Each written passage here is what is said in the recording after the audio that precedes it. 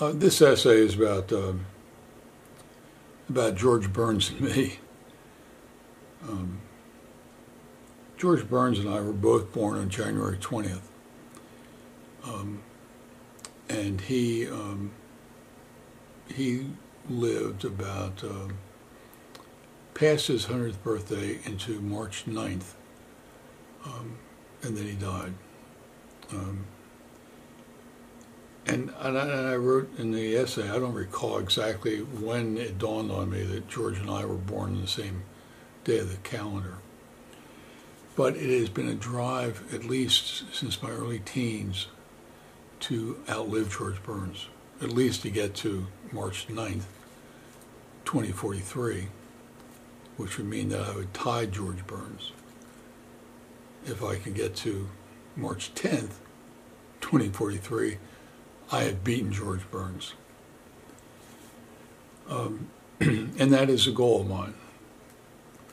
Comma, but I've done the dance with death a couple times, and um, some of you might think it's somewhat unrealistic, um, which which doesn't stop me from doing anything, um, but it, it, it is sobering. So this essay is, is at one level just a cute essay about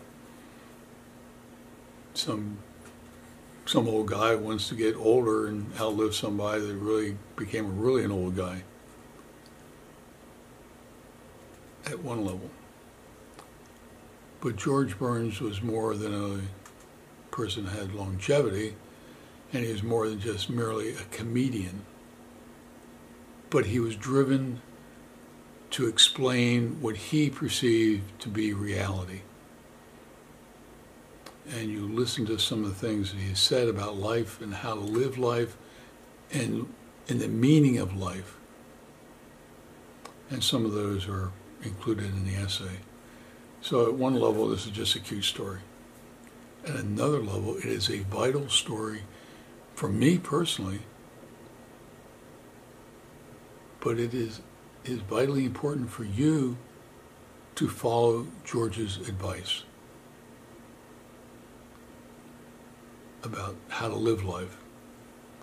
So uh, I appreciate your time, and um, you know, I, I, I really want you to, I really want you to grasp what Burns is trying to tell all of us about how to live life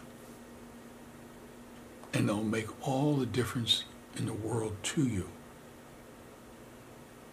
It has for me.